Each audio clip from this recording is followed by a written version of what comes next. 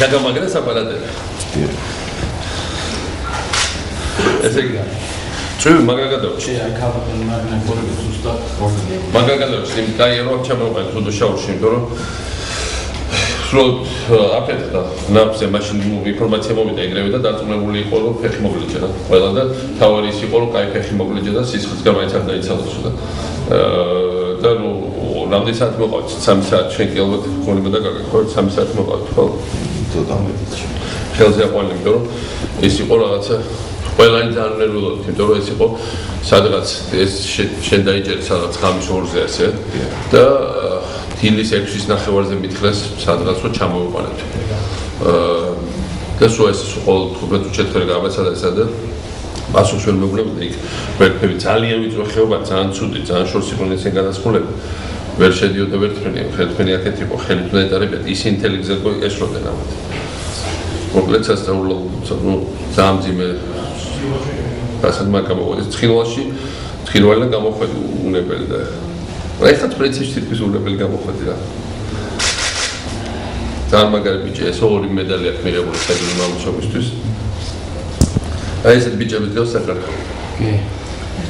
უნდა გითხრათ რომ აი ხლა დილოს როცა ზურა ვნახე გორში ვიყო პრეზიდენტო და ბიჭები იქ აქვს ოთხნი არიან ერთ კანონზე სამივე ოპერაციები ერთ პალატაში არიან და ასევე მხნეთ არიან.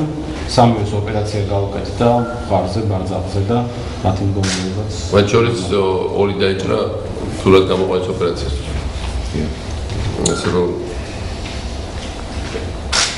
თავი თავი ხა დროს წამოდი რამდენი ხარ? ჩამალი წამოდგება ეგ არაფერი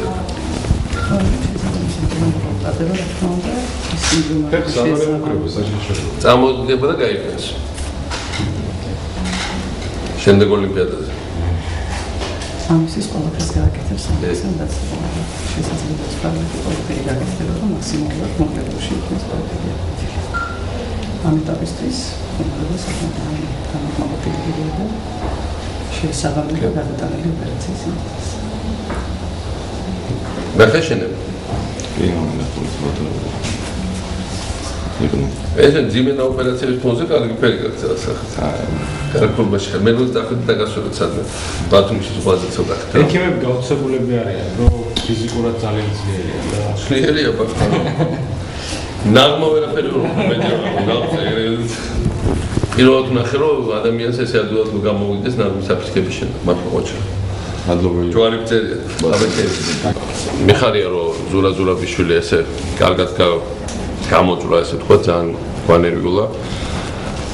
და მისი გამოყვანა იყო ძალიან რთული ოპერაცია იმიტომ რომ ყველაზე შორეულ წერტილში გადაისვა ხეობის მეორე მხარეს იქ აფეთქდა ნაღვზე და აა ეს იყო რამდენიმე საათიანი ოპერაცია ხელიტარების ცეცხლის ქვეშ.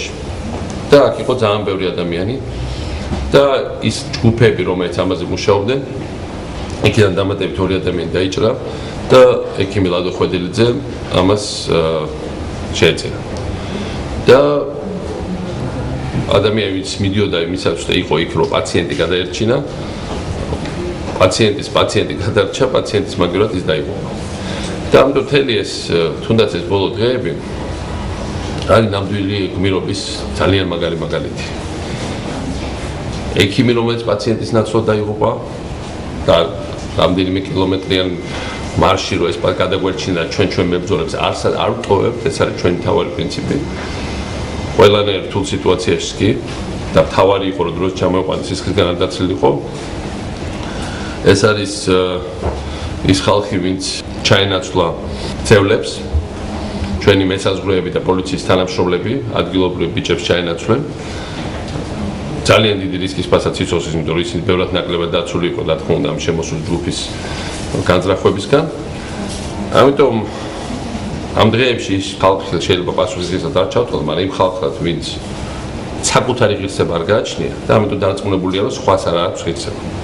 და ყველაფერი გონია დადგმული, ჩაწყობილი, ყურით მოთრეული ყველაფერი გონია რომ ეს არაფერი არ არის, იმიტომ რომ თვითონ კიდევ ერთხელ მომრო არ გააჩნიათ ღირსება და ვერ წარმოუდგენიათ რომ შეიძლება ადამიანს უყვარდეს სამშობლო, შეიძლება ადამიანი სამშობლოსთვის წირავდეს თავს და იყოს ნამდვილი გმირი.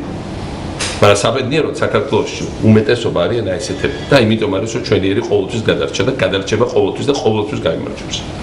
ამაში ვარ აბსოლუტურად დარწმუნებული. და კიდევ ერთხელ ზურას ნახავ, რომელიც კიდევ ერთხელ მისი გადარჩენა მართლა დაგვიჭდა ციცოცხლის და დაჭერების ფასად, მაგრამ გადარჩა და ეს მართლა ძალიან მაგარი ამბავია. როგორ ის იყო ეს?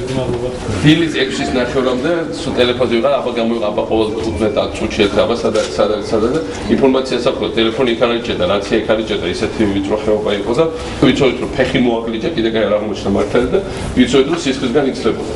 აი მართლა გიჟგავდით ტელეგრამზე რომ რა მოუვიდოთ და რო დავინახე ხა გულზე მოკლე.